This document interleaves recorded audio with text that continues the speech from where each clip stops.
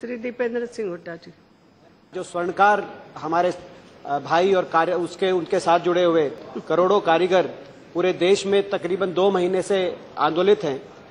ये, जैसे कि आप जानते हैं, अध्यक्ष महोदया, बहुत बड़ा सेक्टर है, तकरीबन चार लाख पचास हज़ार करोड़ का टर्नओवर का सेक्टर है, जिससे पाँच करोड़ के करीब लोग जुड़े हुए हैं। एक्साइज ड्यूटी एक्साइज एक प्रतिशत उस पर एक्साइज टैक्स लगने से जो इसमें मेन इशू अभी बचा है क्योंकि सरकार ने आ, काफ़ी प्रयास भी किया बातचीत भी चल रही है। पीयूष गोयल जी को नियुक्त किया सरकार ने उनसे बात करने के लिए। मगर आ, बंद तो खत्म हुआ है।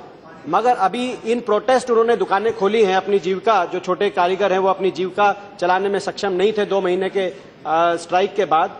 मगर बहुत सी जो तकलीफें हैं वो अभी यूँ की यूँ बरकरार है। तकलीफ़ एक प्रतिशत टैक्स की नहीं क्योंकि एक प्रतिशत एक्साइज टैक्स लगने से तकरीबन 1400 करोड़ की आमदनी सरकार को होने जा रही है। अगर एक प्रतिशत कस्टम टैक्स कस्टम बढ़ा दिया जाए तो तकरीबन 2600 करोड़ सरकार को मिल सकता है। उसकी ड्यूटी नहीं है। मगर ये एक वनरेबल सेक्टर है, इसीलिए हमेशा इसको एक्साइज एक्ट के बाहर रखा गया। जैसे कि आप स्वयं इसकी जानकारी रखते हैं, क्योंकि उस समय जब यूपीए के समय ये प्रस्ताव आया था तब भी विपक्ष ने भी और हम लोग उस तरफ़ बैठे हुए थे सत्तारूढ़ के साथ दल के सांसद थे, मगर हम लोगों ने भी इसका विरोध किया था क्योंकि पूरा ये इसको समझने, समझ के इसको अप्लाई एक्साइज को इस सेक्टर में लगाने के, समझ के अप्लाई करने की आवश्यकता है। एक सरकार कहती है कि ये अमीर लोगों का जैसे कि आप जानती हैं कि तकरीबन सत्तर प्रतिशत ये जो कारोबार होता है, गाँव में होता है।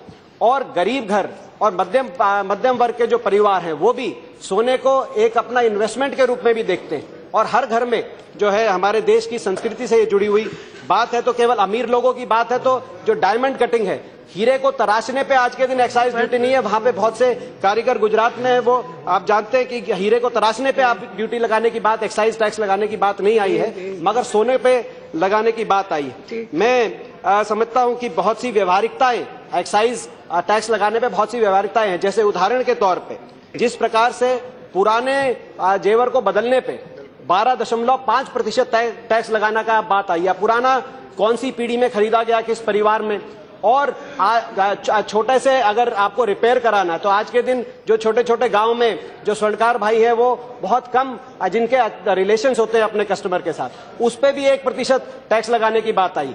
इसी प्रकार से पूरा इन्वेंटरी का हिसाब कारीगर को रखना होगा, नहीं तो उस पर एक्साइज एक्साइज एक्ट के माध्यम से जेल और पूरी तरह इंस्पेक्टर राज थोपने की बातें ये आ रही हैं। तो मेरा सदर, आपके माध्यम से सरकार से पुनः ये निवेदन है ये बड़ा आंदोलन हुआ था जंतर मंतर पे। राहुल जी के नेतृत्व में हम लोग सारे गए थे कि सरकार भी प्रयास कर रही है मगर समाधान निकले ये अफसरों की बजाय कारीगरों की तरफ़ सरकार सोचे बड़े उद्योगपतियों की बजाय छोटे व्यापारियों की तरफ़ सरकार सोचे इस प्रकार का कोई समाधान निकाले कि इंस्पेक्टरी राज की तलवार इन स्वर्णकार और कारीगर भाइयों पे ना ना लटकी रहे ऐसा आग्रह आपके माध्यम से मैं सरकार से करता